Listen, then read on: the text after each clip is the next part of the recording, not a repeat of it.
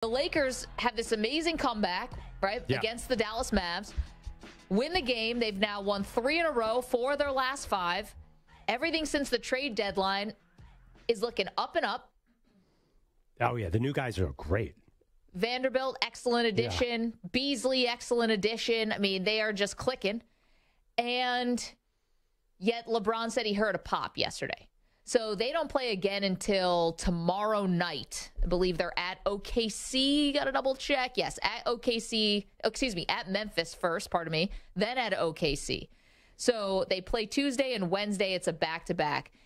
Now, normally I would say, well, of course LeBron's not going to play.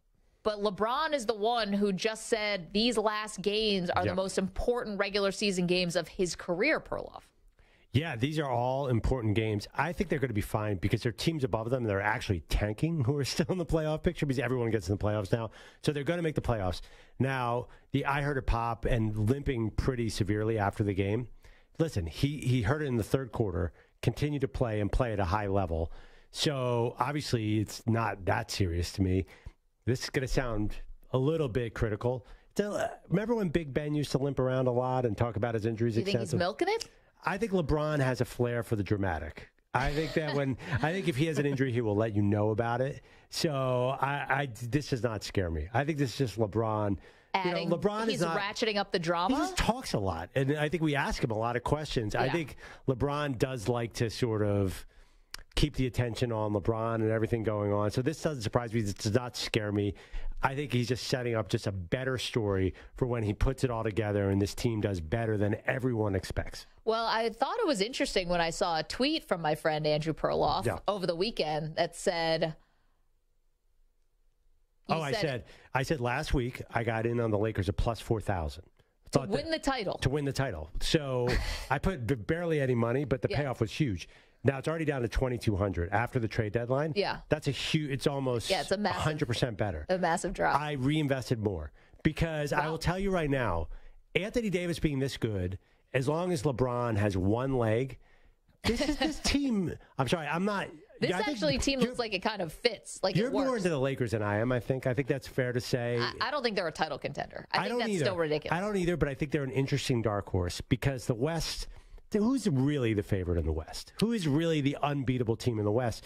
If you give me Anthony Davis playing like he did yesterday, I don't look at them in a series against the Lakers and say this is going to be a sweep or anything. I think the West has a wide open feel, so why not take a flyer? It feels like more of a flyer year to me than a favorite year. And the Yeah. Lakers are a flyer that happens to have Anthony Davis and LeBron James. I think it's not bad for a flyer, but I can't look at these. Listen, it was great yesterday against the Mavs, but I think the Mavs have their own problems. Clearly, when Luka Mm, and true. Kyrie on the floor together, obviously you lose a lot of defense or any kind of defensive intensity, and so that that goes away. Um, I think that there are a lot of flawed teams in the West, but I can't automatically say, oh, I think that you know, here we go. Now the Lakers are title contenders, but I'll tell you what man, I hate to like pile on Westbrook, but if this is real, it's not it. But like, if this really was the catalyst of just getting him out, well, LeBron deserves criticism for that because he's the one who brought him in. but true. the fact they finally got, I can't even say out of the building because he's just at the Clippers over the other over the other locker room. but this team just makes a lot more sense. Vanderbilt, who can play alongside Anthony Davis. Davis was excellent yesterday, 30 points. Um, 15 rebounds, three blocks Big jumper at the end. Like hitting turnaround Yeah. fadeaways. I mean, when he can do that, it's incredible. Uh, Beasley didn't even have a good shooting game. You know, he was three for 14 and two from 11 from three. But the fact is, is he's out there getting wide open looks. You know, Schroeder has, I think, always been a solid point guard. Listen, bet on himself in a bad way. And then Hachimura, you're not going to be looking at him really for scoring, but uh, Well, solid off the bench. The other thing too, so they got Russell. Westbrook. If you look at the other contenders, this helps with my bet. Yeah. they sabotaged the Clippers by letting them get Russell Westbrook. Yeah. they were my they were my favorite title teams. I love Kawhi, but now come on, you can. It's impossible for someone to win an NBA title with Russell Westbrook. He's just immediately going to kill your offense in the clutch. So you have Denver, never does anything in the postseason. Memphis, unproven. Sacramento, very young. Phoenix is scary, but other than that, I mean, you have teams like Dallas, Golden State. Still, we don't know if they're going to be fully actualized. it has a wide open feel in the West. Absolutely, it does. I think it is setting up for Denver, though, just because if they have everyone healthy, then I think this is sort of like finally the year. Because if not now, then when is it ever going to happen? In yeah, but they're not built. You know, them getting to the finals. Players like Luka and Joker are built for the regular season. Are they built for the playoffs? Well, I mean that high usage sort of it's a very James Harden where yeah. you get all the stats. Triple doubles are wonderful in the MVP voting. They don't really work in the playoffs. I, I'm not so into Denver. I know. Well, we put five dollar bets, and you put yours on the Clippers, and I put mine on the Nuggets, basically to spite you because you don't think Jokic should get a third straight MVP. This is a, this is partly my Sixer fan and wanting Joel Embiid to win it. I don't think the Sixers are really built for a title either. Certain teams just seem to have that special formula. The Warriors had it last year. The Bucks had it with Giannis. Can you you know what I'm saying? Denver, something about Denver seems like a regular season team now. Want to know if the Laker fans out there are starting to believe at 855 212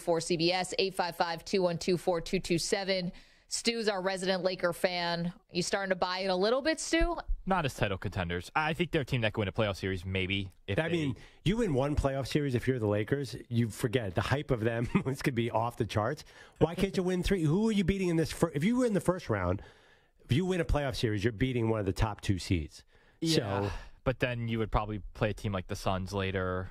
I don't know, or the Grizzlies later, or the Nuggets later. I don't know. They can maybe win a series. I'm not saying they're going to win a series, but I think they could maybe push a team and win a series. I'd be dubious of the Suns. I am dubious of the Suns. You'd be scared of the Suns. Or no, I'm, I'm not buying it. What? I, I know, but I totally buy that team. How can you not buy them? Because you're asking a team to gel on the fly with 20 games or whatever left. Maybe Kevin Durant's going to finally make his debut. What do we think? Wednesday, I think they have a game. So he's going to make his debut for the Suns. You just don't have a lot of time. We were talking about our boss, Spike Eskin, hosts, hosts a 76ers podcast called The Rights to Ricky Sanchez, and they just had Daryl Morey, the general manager, as their guest. And he said that when Harden was traded to the 76ers midseason, he underestimated how much time it was going to take for all of them to gel together. Now, maybe that's an excuse from the 76ers about why they fell short, but I think there has to be something to that. Well, I mean, you could add James Harden to the 92 Dream Team and they would have won the bronze. So I don't know what Daryl Morey is talking about. I mean, obviously, there's no team that James Harden's going to gel into because he can ruin any team. so that's a ridiculous point. It is true. Was, didn't Spike give us another stat? There hasn't been a midseason acquisition who's led them all the way since the 90s. Well, Clyde Drexler. Clyde Drexler going to Houston. yeah, and the yeah. Rockets. And, and they had a couple other really You mentioned players, Rasheed Wallace sort of came in with Detroit. Different, wasn't the star, yeah, but was no, no. a key role player. I mean, the, again, getting back to this fact that the West is very undefined. I think Kevin, I'm I'm buying Kevin Durant and the Suns, and, and the Warriors too. The Warriors, Steph Curry comes back, all of a sudden they're in the mix too. I, I don't count anybody out in the West except for Sacramento. I can't see that happening. Well, that'd be a fun story. They're the number three seed. I mean, that might be fun if the Lakers got to six and faced Sacramento in the first round. That would be a great first round. It's like, congratulations, Sacramento. You haven't made the playoffs in like 16 years. Here's LeBron James and Anthony Davis who just made a late push to get into the playoffs.